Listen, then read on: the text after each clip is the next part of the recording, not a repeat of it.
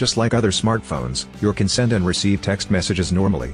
But if you've been an Apple user for a long time, you might have also switched from using the normal text messaging to iMessage. It's Apple's proprietary messaging service that lets you send and receive multimedia messages as long as you have an internet connection.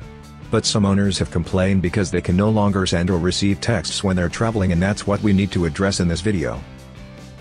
Hey guys, in this troubleshooting guide, I will be showing you what to do if you can't send and receive text messages on your iPhone without internet.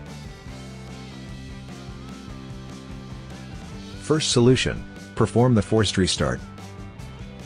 If you were able to send and receive text messages even if your iPhone did not have an internet connection before, then it might be just a minor issue with the firmware. So, the first thing that you have to do is the forced restart to refresh your iPhone's memory and reload all apps and services. This is how you do it.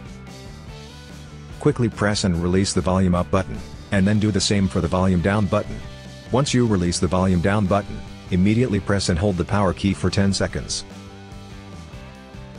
When the Apple logo shows, release the power key and wait until your iPhone has finished rebooting. Once the reboot is complete, try to see if the problem is fixed.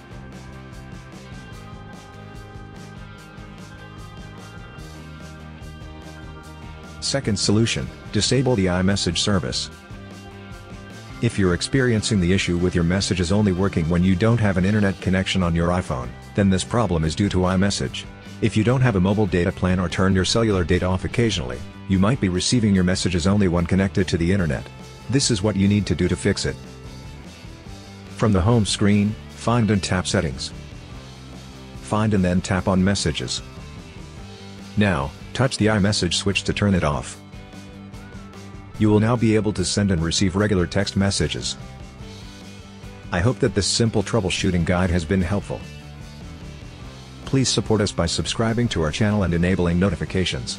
Thanks for watching.